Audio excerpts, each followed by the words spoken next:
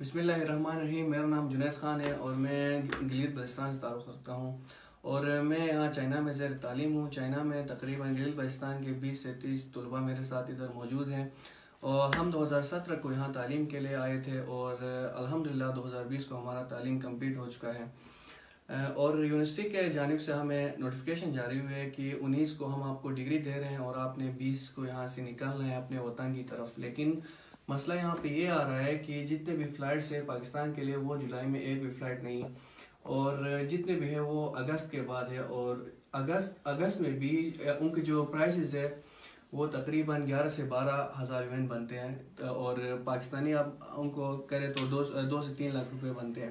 इसलिए हमारे जितने भी स्टूडेंट्स हैं, हमारे ये एक मुतालबा है, बिलखसूस C M Gilgit Baltistan governor Gilgit Baltistan और F C N A corps commander से कि आप हमारे लिए एक बस का अहतमाम करें, बरास्ता खुंज रबता ताकि हम अपने अपने घरों को खुशी खुशी लौट जाए बहुत बहुत शुक्रिया।